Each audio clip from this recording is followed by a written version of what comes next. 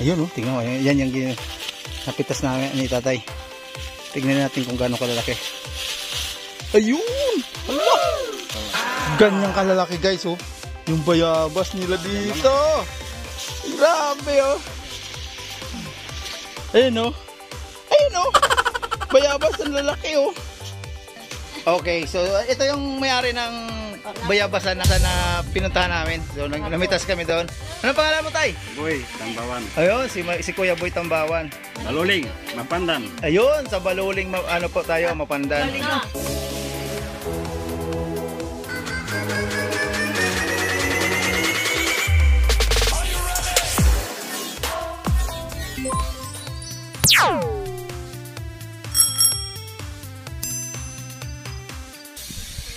Hello guys, nandito na tayo ngayon sa Mapandan, Pangasinan. So nandito tayo ngayon, mamimitas tayo ng ano, ng bayabas. Yung malalaking bayabas guys, yung giant kumbaga. Makikita nyo sa likod ko, purong mais yan. So bilang lang tayo 3 to 4 months or 3 months maximum. Har- harvest na ulit yan. Napakalawak na ngayon. Napakalawak yung ano na yan, yung lahat ng maisa na yan. So kung papalarin tayo makabalik tayo dito sa panahon na yun ng harvest ulit eh mapakita na natin sa inyo kung paano naman mag-harvest. Kaya tanim yun. so titingnan natin kung gaano kalalaki yung bayabas. Ngayon guys dito tayo papasok sa loob. Ayan. So nakaharang yung tricycle dito tayo papasok sa loob. Teka wah. alright papakita ko sa inyo guys. Ito yun. Yan ayas yan po lahat ng nakaputi na yan ay bayabas yan. So tingnan niyo kung paano at paano sila mamili dahil nandito kami para mamitas. Tingnan natin kung paano sila mamili ng malalaki at pwede nang harbisin. So ayan na guys. Mamimili tayo ng pipitasin na bayabas. So guys kung napapansin nyo, ito tayo. Ito, ito, ito. Yan guys, meron sila ditong water pump para po ito pang supply sa irrigation ng mga bayabas. Guys, kung makikita nyo yung bayabas, maliit lang ang puno. Pero yung mga bunga niya guys, malalaki yan. So, ayan na guys. Yan, lahat guys yan na naka-plastic. Ibig sabihin no, kaputi-puti na yan. Eh, bunga po yan. Prospect na bunga. Kaya yan naka-plastic para hindi mapasok ang mga insekto. Ayan guys, kung pansin nyo, maliit pa ito. So, ayan yung ano nila dito, water pump pang dilig sa baya- bayabasan or sa plantation ng bayabas. Yan tubig so titingnan natin. Nandun sila tatay. Ah, ayun.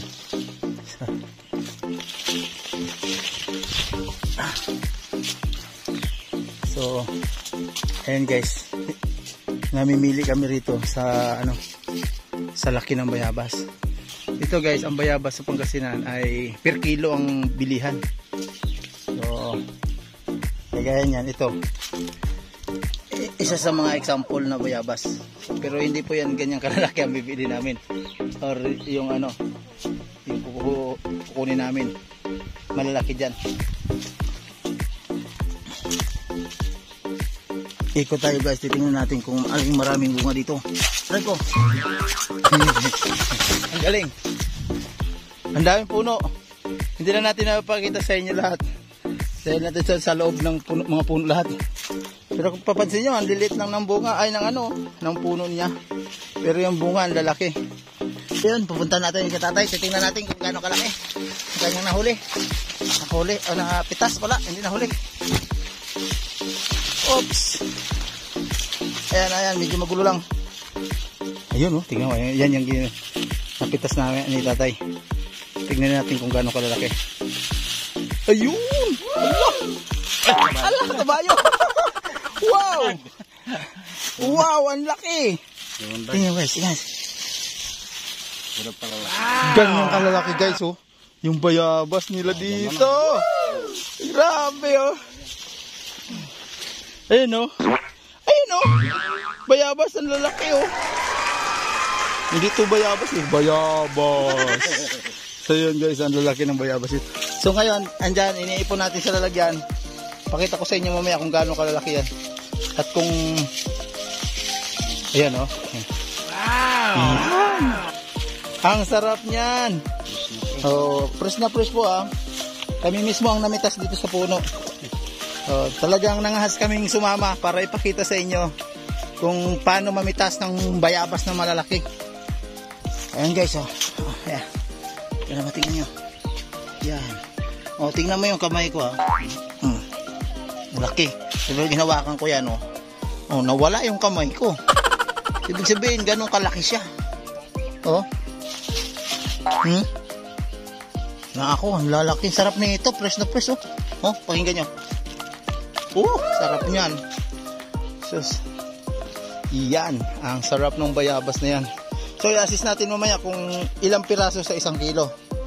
Kasi kung bibilhin mo yan doon sa Maynila, medyo mahal na yata yan eh. Pero nandito ngayon tayo sa plantation ng bayabas. Kaya bib- bibili tayo, medyo mura lang dito. Kaya hindi nyo natin makita, kaya nandito tayo sa gitna ng bayabayabasan. So, asan na si tatay? Ayun. May bunga yung chiko dito. Yun, nakahuli ako ng hinog. Sniper ng ano, chiko. Pero kinakain lang po ng ano yan mga guys oh. Yan oh, chiko. Ayan, kinakain lang ng ibon. Dahil oh, pero nakakuha tayo isang hinog. Titingnan natin kung mapakinabangan. Okay. Yan. Ayan. Chiko yan guys, chikuhan. Ch- Chiko naman. Isang puno ng chiko. So ayun guys, napakalawak ng bayabasan dito. Or taniman ng bayabas or plantation. Yan no, napakalawak niya no. Kaya lang wala tayong drone. More or less sa aking ano dito. Mayroon tong dalawang ektarya o tatlong ektarya na puro bayabas. Oh. Ano? Maliit pa lang yan. So ayan na guys. Inaano na namin, ina-unbox na namin ay unplastic pla. Ina-unplastic na namin para ma-reveal na yung ano yung bayabas kung gaano kalaki at gaano kaganda. Ayan guys. Oh. Katapos niyan ipapatong sa timbangan. Oh, laki nun eh. Ayan. Okay. Oh. Yan, oh, yun, laki nun oh. Plastic na yan. Oh, ayan. Oh. Ayun, oh, laki. Diba? Laking bayabas. Angas.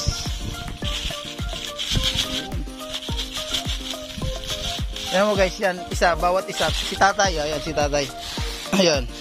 Si tatay po ang nagbabalot niyan. Bawat isang plastic na nakikita nyo sa puno ng bayabas. Yan. Isang bayabas na yan, puro po bunga. Lahat ng naka-plastic na yan.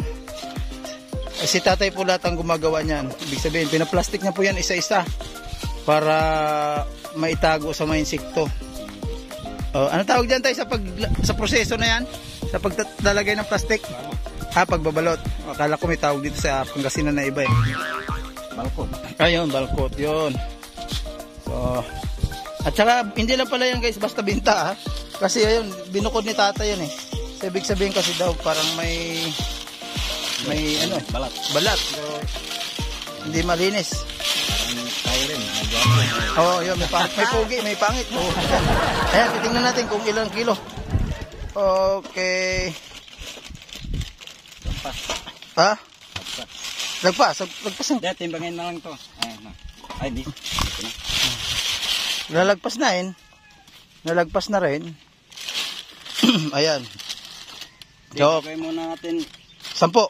sampo. Oh, sampo. Sampo muna. Ayan.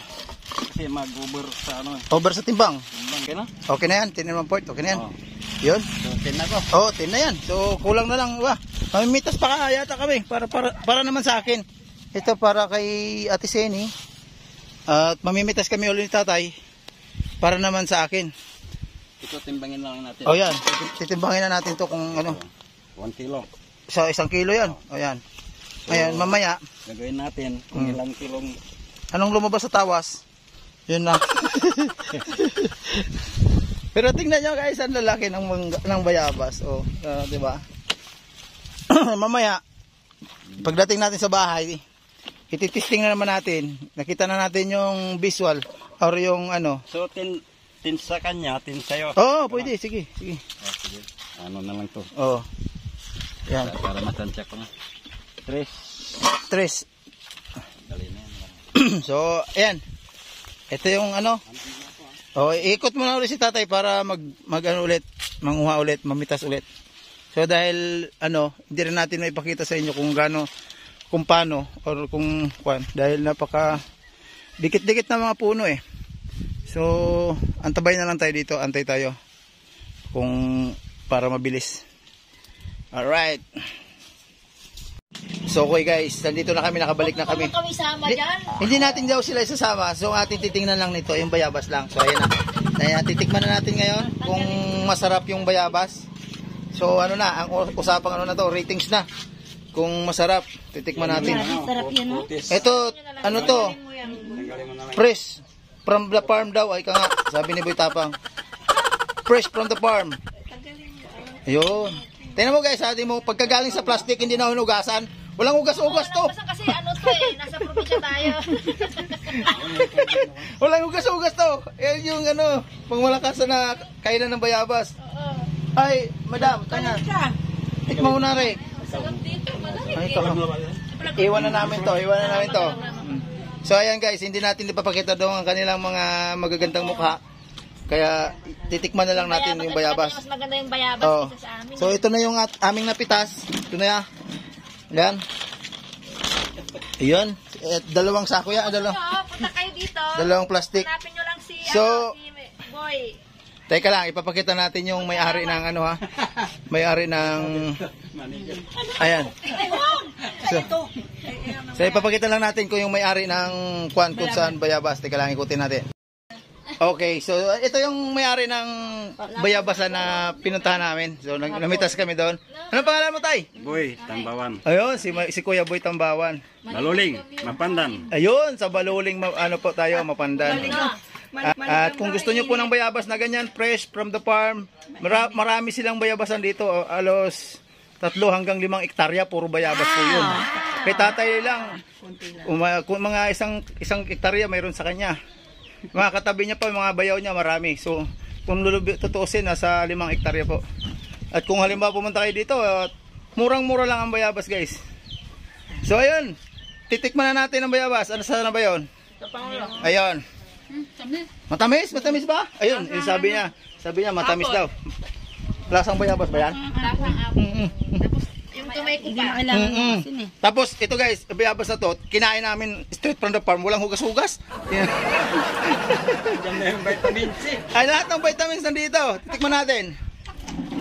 Mmm! Lasang kamay! Hindi pa masarap. Oo, masarap nga siya. Mm, masarap guys, masarap. Promise. Pag once na tikman nyo to, ang bayabas ni tatay. At hindi lang bayabas dito guys, meron ha. Meron din silang ganito oh. So ayan guys, hindi lang bayabas, meron sila dito. May suha, may chiko. Kaya lang hindi ngayon season ng chiko, kaya wala tayo wala tayong makitang bunga na malalaki. Napitas na. So ayan guys, suha yan ha. Suha. Tingnan niyo yung suha nila dito. Namumunga pa lang, namumulaklak na ulit. Ayan ang bulaklak ng suha guys. Tingnan niyo ito. ah. Yun. Alright, so punta lang kayo dito sa ano, Mapandan. Mapandan, Baluling, Pangasinan. Para matikman nyo yung kay Tatay Bas- Bayabas. Ayan yung bayabas natin. Ito. So ayaw nila magpakita, kaya hindi natin ipapakita. Kasi baka mag-viral sila. So okay. Kain muna kami.